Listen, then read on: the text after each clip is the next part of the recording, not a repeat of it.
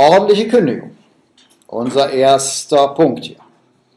Und wir haben gesehen, wir arbeiten mit dieser Polarisierung Arbeitnehmer, Arbeitgeber. Wir haben gesehen, dass das falsch ist, aber wir übernehmen das jetzt hier mal, weil das im Moment so gemacht wird.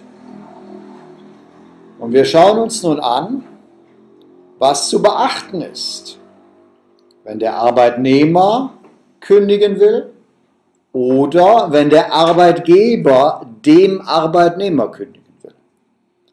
Und wir halten das zunächst mal sehr einfach, um zu sehen, wie die Verteilung hier ist. Der Arbeitnehmer oder für den Arbeitnehmer ist die Kündigung, die ordentliche Kündigung, problemlos. Halten wir das ruhig mal so fest. Problemlos, denn er muss nur die Form beachten und die Form ist Schriftform und Fristen. Das sind die beiden einzigen Dinge, die der Arbeitnehmer beachten muss und diese Dinge sind ausschließlich formale Dinge. Muss der Arbeitnehmer Gründe nennen? Nein.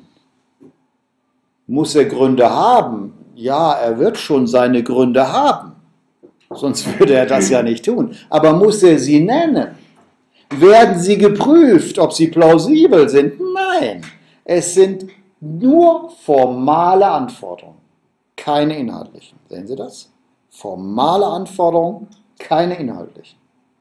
Also könnte ich jetzt schreiben, ich kündige für übernächste Woche. Wenn das innerhalb der Kündigungsfrist ist, ja.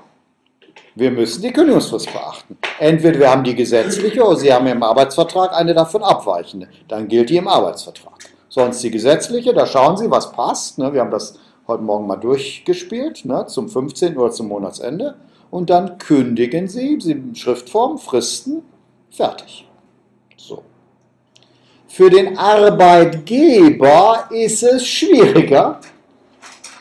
Er muss beachten, die Schriftform, die Fristen, genau wie oben. Ja, Im Moment noch gleich. Naja, schon nicht ganz, wie wir gleich sehen werden. Aber sagen wir es im Moment mal so, im Moment noch gleich. Und jetzt kommt ein Plus dazu. Plus Schutzgesetze.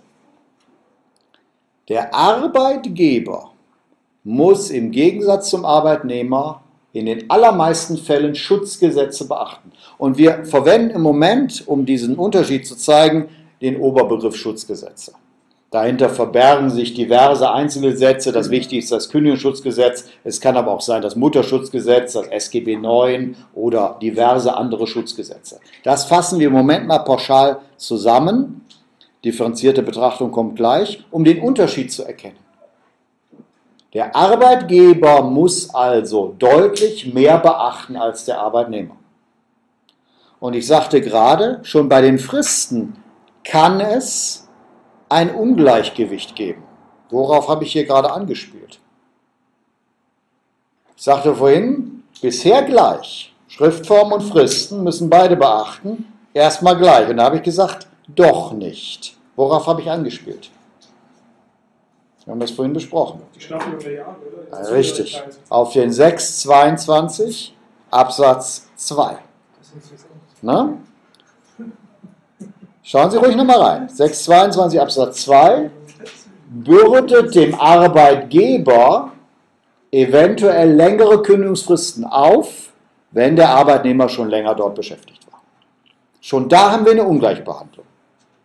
Hallo, Marius Ebert hier. Meine Videocoachings ersetzen komplett Präsenzseminare und Fernlehrgänge.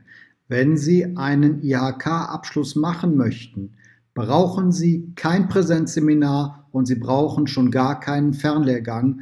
Meine Videocoachings mit dem gesamten kompletten Begleitmaterial, dem Hörbuch und der persönlichen Betreuung ersetzen das Präsenzseminar und ersetzen den Fernlehrgang. Wenn Sie mehr wissen wollen, klicken Sie einfach auf den Link unter diesem Video. Alles Gute, Marius Ebert.